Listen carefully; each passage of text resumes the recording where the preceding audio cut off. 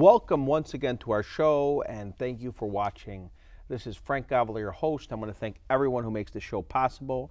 Cable Access Network, CAN TV, who makes this and all the shows here possible from community and philanthropic and neighborhood, local uh, access for people who normally cannot ever be on TV.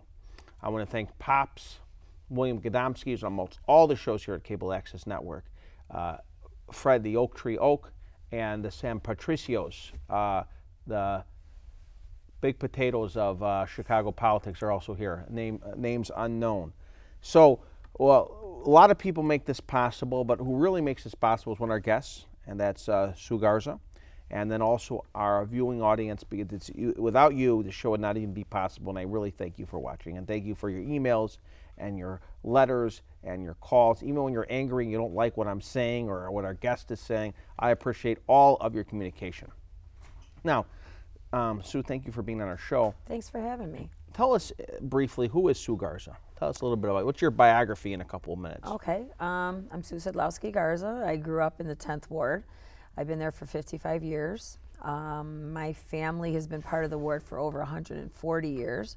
My father is Edward. Wait, 140 years. 140 that's a, years. That's some good roots in a ward. Usually you say, I was born and raised there, but 140 years is uh, better than most. My great grandfather McDillon was actually born on the banks of the Wolf Lake in a log cabin. Uh, my, mo- my mom's family is actually from that ward as well. Uh, I've been there my whole life. I went to school there. I work there. I actually work at the same school that I attended as a child. So you're a public school teacher? I am actually a CPS counselor. Oh, CPS counselor. CPS okay. counselor, yeah. I've been uh, working for CPS for 22 years. Uh, so let me get this straight. So you live in the you uh, you went to this school I went to that school. My mom went to that school. My children went to that school. and then you became a counselor and working at the school. Yep. So I've been inside the walls of Jane Addams Elementary for 46 years as a student, as a parent, and 22 years as an employee. Well, my dad says sometimes life works in a circle, and you end up at the place you were yeah, first in. and mine has actually come full circle. You're absolutely right. All and I live a block away from there as well. So So you're very rooted in the community. yes, yes, very I am. strong roots. hmm Yes. Um, and so a lot of people they move in for you know the year before the election or move in for the election. Yeah, In your case, you are concrete, solid foundation and roots. I there's a standing joke that my husband is going to bury me in the backyard of my home. So that's how long I've been there. hopefully not against your will. Um, True. so, um, so we better win the election so you don't get buried. Uh, we got to win this. You got to win this election. So, Absolutely. Uh, um, and of course, the opponent is also welcome on the show. Everyone is welcome. Uh, so Alderman John Pope is welcome on the show, and we'll give him a friendly and uh, uh, friendly show, um, just like we are doing to this candidate. So first of all, let's start off with uh, we're, we're being on your biography, kind of as a preliminary uh, preliminary action. So are you uh, so you're a family person. You're a wife. Yes, I've been married. Mother? Yep, I've been married with the same man for 29 years. That alone is an achievement in this day and age. yes. I'm very proud of that, and still in love with him, by the way. Uh, So there you go. if we had a Um, viewing audience here, but I, I'm sure our TV audience is clapping right now. I'm sure they are. Um, I'm I'm very blessed by by the man that I'm with. So I have we have four children, two wonderful, beautiful granddaughters. Uh, I'm I'm very I have a wonderful family, So a family person, somebody rooted in family and very much. okay, My traditional husband family is uh, values. yep. My husband is uh, one of six. He comes from a very big extended family. He's related to, it seems like every Latino in the ward. So, yeah, right. very big family. Good, good. So um, my next question is, if you could tell our viewing audience Mm-hmm. where your office is, a phone number, and website. Yeah, sure. Um, our office is located at 9510 Ewing. We actually just opened two satellite offices. One is at 8702 Commercial, and the other one is on 132nd and Brandon in Hegewisch. And our telephone number is 773 322 2679. And our website is ssgarza.com, like the ship. Why don't you tell our viewing audience this one more time, and this will also play throughout the show on the bottom of the screen. Okay, um, our website is ssgarza.com. Our campaign office is located at 9510 South Ewing Avenue, E W I N G. Uh, we also have another office on the, on the north end of the ward, which is 8702 Commercial. And we also have a, another ward office on the south end of the ward at 132nd and Brandon. Well, you have quite a bit of office. You three offices for this one ward. Although it's a very big ward, one of the biggest. It's, our ward is huge. biggest one in the city. Biggest ward in the city, yep. Biggest ward in the city. And, and just as some background, it's a very storied ward of uh, history. Uh, the Still Mills, Mm-hmm. um, at one time between Northwest and Indiana and, and the southeast side of Chicago, you Mm-hmm. had a huge amount of uh, jobs, kind of Rust Belt, now Rust Belt, but at the Yeah. time just vibrant, active economy. We were a true mill town. Um, we had nine steel mills. Uh, U.S. Steel alone employed close to, at the peak of their time, employed over 10,000 guys. They had a hospital in there, a grocery, a commissary. I mean, they, it was it was like a little town within a you know city within a in a mill. So. Uh, once the mills closed, Wisconsin Steel closed, LTV closed, Acme Steel closed, U.S. Steel closed, closed. So the jobs went too. So we are left, you know, you, you made reference to a Rust Belt. We are kind of like a, a, a community that's just been forgotten, not just because of jobs, just, but the southeast side of the city is really forgotten by downtown. We really, we don't have anything there. So it went from a uh, high employment and high wage Mm-hmm. guys with a blue, mostly guys, but some gals, but mostly guys who had high wage jobs that Yep. they could send their kids Sundays to Catholic schools, have a summer home, Mm-hmm. um, you go on vacation, health insurance, pensions, Yep. that kind of lifestyle. You know, maybe a small bungalow, but still a nice home. Mm-hmm. Um, sometimes a summer home, nice car, big metal American car. Yep. Kind of the American dream that was known even when I was a boy.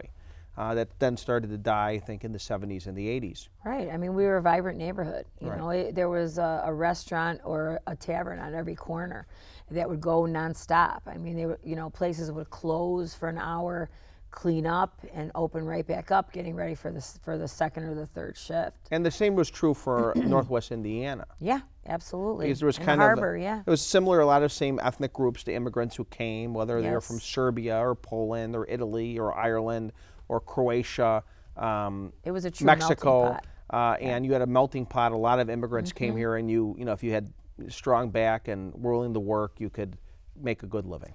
You know, uh, we instead of college fairs when I was in high school, the mills would come um, and do mill fairs. I mean, there would literally be nine steel mills trying to recruit high school seniors to go straight to work in the mill, and it wasn't uncommon for students not to go to college; they'd go straight to the mill because, like you said, it was a good paying job.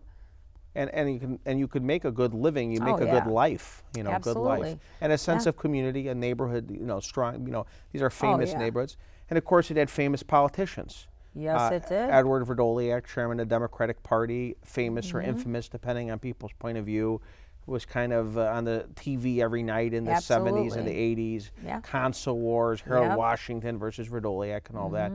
Um, but it seems like after that time, uh, kind of people forgot about the 10th Ward for a long period of time. Right. I mean, we were always in the news for something. You're absolutely right. And then when Wisconsin Steel closed and guys showed up to work one day and the, the gate was locked, they couldn't even empty their locker. Some guys had 42 years in that mill and they lost their pension. So there was a big job, um, a big push for uh, our Save Our Jobs Committee, um, Save Our Pensions. There was a a lawsuit that was settled that some of the guys they did get part of their pension back, but not all. and we were we are still, I believe, the forgotten entity of the city. So international economics came in, free Mm-hmm. trade came in, and people started to manufacture steel or steel products or iron products Elsewhere. elsewhere. Right. Um, Philippines, Mexico, Yep. other nations, other states, um, rather than Northwest Indiana and the south side of Chicago. Mm-hmm. Now, you still do have some manufacturing down there. You have, I think, one of the oldest um, Ford plants, right? Some of the car manufacturing. You had you had other car manufacturers, but I think you still have the Ford manufacturer that creates the Taurus and the new Lincoln. I always forget the is it MWK, MRK, one of the, but I, and I think they make a police car down there, but I know they make the Ford Taurus and the new Lincoln car. We do have a Ford plant there, yeah, Right. and we do have like a parts, um, a, a big addition that was put on on Avenue O. That's it's not on Torrance. That is like a, a plant for they they manufacture parts and stuff there too. But essentially, you have tons of vacant land and tons of unused, but are, probably need environmental remediation of still Oh, yeah, mills. absolutely. Uh, is there one operating still, or some, maybe operating for some other purpose? I thought there was one that's still operating out of all those. There, there's no mills that are operating. One, uh, the old Republic Steel is now a recycling plant. Um, the there's pet. We do have. We're lucky enough to have. You know, KCBX is now has a is a pet coke storage unit. That's where all the pet coke is stored from BP. Um, but we don't have any steel mills that are running down there. No. But there isn't. There's still some in Northwest Indiana. Oh yeah, Northwest Indiana still has. Uh, yeah, U.S. They're still running there, but that's you know on the outs. It's not within our ward. No. Um, and Bethlehem Steel used to be, I believe, there. Right. in, in Northwest, Northwest Indiana. hmm U.S. Steel, yeah. So I mean, and famous companies because Bethlehem Steel, I believe, used to be owned by Joseph Kennedy, or he was one of the main investors, and you know things that uh, these are the things that uh, that fueled the war, the war engine of World War II. Oh yeah, I absolutely. mean, they fueled World War. II and economic growth and prosperity, and uh, winning the war in World War II, and then suddenly it bec well, maybe not suddenly, it might have been a slower death, but people might not have seen it suddenly. It, it, it, They're on a skeleton crew there. I know that they they've been in the process of laying some guys off. There are I, I think believe one of their blast furnaces is still running.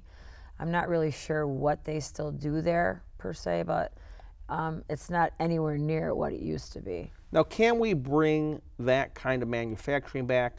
And if we can't, then what do we replace it with? Well, that's a great question, Frank. I, I don't know if we can ever get back to the days, you know, the glory days of all the mills running. I mean, mm-hmm. with the whole NAFTA Act and everything, things I don't think can ever be what they used to be. They're manufacturing, as you say, in other countries for probably less than half the price of what we're gonna what we would do it here. So most of these companies have moved with the Free Trade Act. Mm-hmm. And so, what do you want to replace it with? What are your ideas? So, you have all these giant metal buildings and uh, Well, the equipment. buildings are mostly torn down now. There's, it's just, it's Land, just vacant just land. vacant land. I mean, for instance, on the north end of the ward, we have six where U.S. Steel once stood. The ore wall is still there, Mm-hmm. um, but we have 600 acres of undeveloped lakefront. Um, there is a proposal there that for a lakeside development. Um, that's going to bring, you know, new homes, homes on the lake with boat slips and a shopping center. Um, we're pushing actually part of our, my campaign, as well as uh, the other candidates that, that were in the campa- campaign too, is we'd really like to see a trauma center there. Um, we don't have a trauma center on the south side. We have to be transported. If somebody's hurt, seriously hurt, they have to go all the way to Little um, Christ Community, so, which is a pretty, you know, fair distance away. Uh, we need we need world class schools in our neighborhood. We don't have any world class schools. A selective enrollment high school would be great. Now, if you made this proposal for houses on the lake and shopping center, wouldn't there be a huge cost of environmental remediation? Yeah, we didn't make the proposal. Right. This, the proposal that's out there. Yeah, the proposal. yeah, I yes, there has to be a lot of remediation. I mean, perhaps hundreds of millions of dollars. Absolutely. Solo Cup was supposed to come. Um, they were given 17.2 million to do some uh, to build there, but they never came. Yet they got the money. It came from the tax increment financing. So They never paid it back? no, That's crazy. crazy. 17.2 million could have really went into a lot And my understanding, the Solo Cup jobs would have been relatively low paying jobs also. Right, right. But they were slated to come, but they never did. So So, how can we clean up that area environmentally? Because you also have a lot of dumps, transit stations, dumps. You used to. And Yep. without naming particular elected officials, there were elected officials there that allowed that to happen, yes, um, that uh, you know represented them or allowed it, whatever the case may be, Mm-hmm. without pointing fingers. But they're there. So, what can we do to make sure you don't have the same environmental impact? Because my understanding is you have higher rates of asthma. Oh, the asthma rates, the asthma Higher rates rates of have, cancer? yeah, we're in a cancer alley where we live. I mean, the rates of cancer are astronomical compared to other parts of the city or even the state. Um, we have uh, KCBX actually is there, and they're operate like I was telling you earlier. They store the pet coke from the BP plant, and um, it's it's literally yards away from residential homes. So that's a problem. We also have Agrifine, which is a, basically like a fertilizer plant that um, uses animal carcasses and parts to make their product. That's in a residential area as well. Um, we don't really have any, the industry that is there is causing us to live with environmental hazards, and that's not what we want. Now, why is the industry in residential areas when there seems to be vast swaths of land that are not residential? That's a really good question. We've never been asked what we want. We've never been asked, you know, uh, we've never been part of the decision making process. The residents in the 10th ward have never had a say in what's come to the 10th ward. And that's one of the things that um, I'd like to change. I think that people in the 10th ward have a really, they have great ideas. Uh, they have, you know, we can work together to, to brainstorm and bring some other things to the ward other than fertilizer plants and pet coke. Well, pet coke creates all sorts of hazards, and Yeah. it seems like the residents do not want it. From what I see, you know, I, I go on that southeast side uh, Facebook page, Southeast Environmental Task Force, they've done a great job. and they really and, have. and it seems like you know, mi- most of the residents do not want pet coke there. Um, I would say 99.9% of the residents do not want pet coke there. So who's the other two percent? The mayor and the alderman. It um, seems like it. I mean, they're right now they're they're talking about that. You know, they're going to get it out of there, and I think it's an election ploy. You know, once the election comes, they oh, I'm sorry, we changed our mind. So what's the difference between you and the incumbent? So you know you have the incumbent, and sometimes people don't like an incumbent, but you have to give them a reason why they should vote for you rather than the incumbent. Well, I think the biggest difference between myself and the incumbent is I trust people. And I think if you give the people of the 10th ward the opportunity to, to be part of the decision making process and to be part of, you know, being able to run the ward, uh, like I said earlier, they'll come up with some really great and innovative ideas to make the ward a better place. Um, the incumbent is old school, right? He doesn't believe that people can be part of the decision making process. He doesn't believe that they know what they want. And most of his city council votes have come from conversations with the mayor, not from conversations with the, the citizens of the 10th ward. Now, one, one concern about the mayor, and this isn't about the mayor, but one concern about the mayor is that he's more of a downtown lakefront mayor, you know, more involved with people, kind of an upper echelon of wealth. Is the mayor engaged in the 10th ward enough to advise the alderman what he wants to do? Well, one of the things, Frank, is uh, I believe that the mayor knows that we have 600 acres of undeveloped lakefront. There's no other place in the city that has that. That is, could be a huge development, a huge moneymaker. Um, I've been working with Alliance of the Southeast, and we've been asking for a community benefits agreement on the development in on that parcel of land. And so far, the mayor, the incumbent, and the developer will not let the people have a seat at the table. And I think that's detrimental to our ward. Who is the developer? McCaffery, Okay. And how, do, how were they chosen to be the developer? good question. We haven't been part of the process at all. So who owned the land? So the steel US companies. Steel. Mm-hmm. Oh, U.S. Steel owned the land. So after this, the steel companies went out of business, they still maintained the land. Yeah, they did. They probably got a tax write-off too for it. oh, I'm sure they did. Yeah. I'm sure they did. Yeah. So, so you you want to engage the community, and you want the community to be part of the decision-making process. Absolutely. Uh, some of the best people I've ever met are from the 10th ward. Uh, you know, they're brilliant. I, I would. I'm not. I, I'm not uh, that egotistical where I wouldn't. I, I believe engaging people makes them uh, want to get involved in the in more. You know, in the decision making process in the ward by letting them being part of the decision making process. They'll take an active role in, in their neighborhood and they'll know that their voice really matters. As I knock doors, people tell me all the time. "Mm, my voice doesn't matter anyway. They don't care what I say. Okay. So I want to turn that around.